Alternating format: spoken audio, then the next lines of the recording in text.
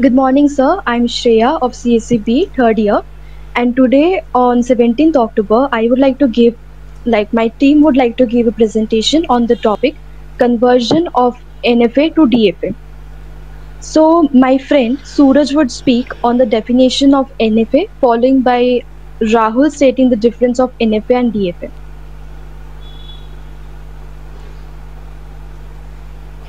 Good afternoon, sir. Uh, NFA or non-finite automata, and uh, there are uh, in finite automata there are uh, two kinds of machine in which there is a, a machine with output or and automata without output. In automata without output, we have two types of machine, which is uh, non-deterministic finite automata and deterministic finite automata and there is one more type which we are not discussing right now that is epsilon non-deterministic finite automata. So uh, in deterministic finite automata we can see that uh, for every input there will be only one output. But in uh, non-deterministic finite automata there uh, for every input there can be a multiple output or more than one output. So we can say from uh, this we can conclude that every dfa it can be an NFA, but uh, not every NFA can be a DFA. So I would like uh, my friend Rahul to say next. Uh, as Rahul is not present here, but uh, NFA, as we all can see, the equation of the NFA to um, has NFA and DFA has five states, where Q is the finite state of states, uh, sigma is the finite state of input symbol, Q0 is the initial state, F is the final state, and uh, delta is the transition function.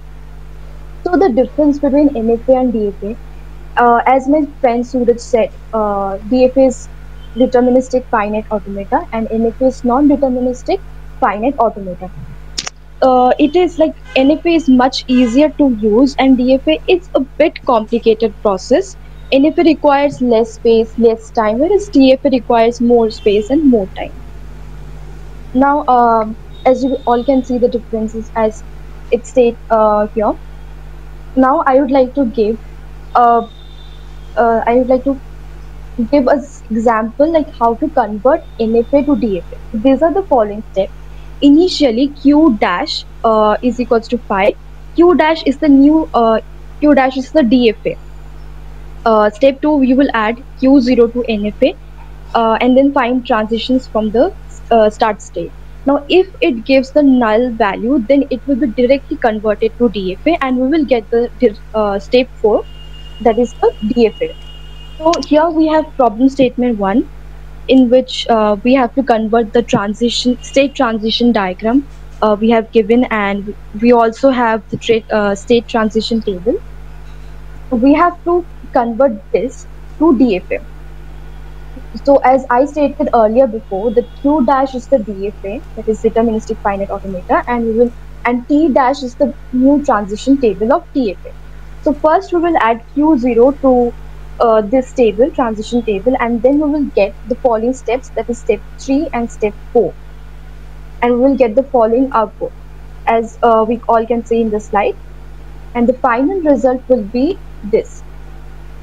And now my friend Samudra would like to give another example um, explaining how the process would be.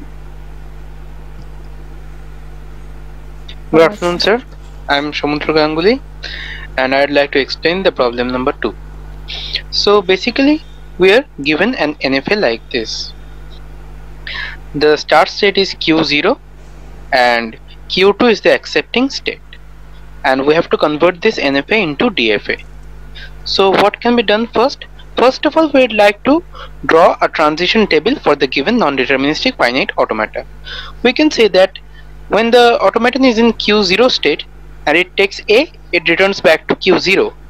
And if the value is B, if it accepts B, then it goes to Q1, if it reads B rather, it goes to Q1 state or Q2 state. Again for Q1 state, if it reads A, then it goes to Q1 or Q2. And if reads B, it goes only to Q2.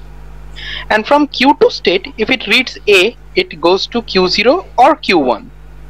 and if it reads B, it will go to Q1. Shreya, please um, Yeah. take to the next slide. Thanks. Now, let Q dash be a new set of states of the deterministic finite automata and T dash be the new transition table. So at first we will consider the state Q0. So if Q0 takes, if Q0 reads A, it goes to Q0 and if it reads B, it goes to Q1 or Q2. So we can say that Q1, Q2 can be combined as a new state and for we will go to the next step by considering q1 q2 as the new state. So yeah please check the next slide. Now for q1 q2 if it reads a then it goes to q0 q1 and q2 but if it reads b it goes back to q1 q2 so we can say that q0 q1 q2 has become a new state. So we will add this also to the transition state. Sorry to the transition table so now we can see that when q0 q1 q2 accepts a it goes back to q0 q1 q2 and when it reads b it goes to q1 q2 so now we can see that there is no such i mean no extra state left to be covered so we can conclude our final dfa Shreya? since no new states are left to be added in the transition table we can stop our process and hence we get the DFA. Thank you, sir. Thank sir. you. Thank you. Very good presentation. Neat presentation. Thank you. Very Thank much. Thank you, sir. Okay. Okay.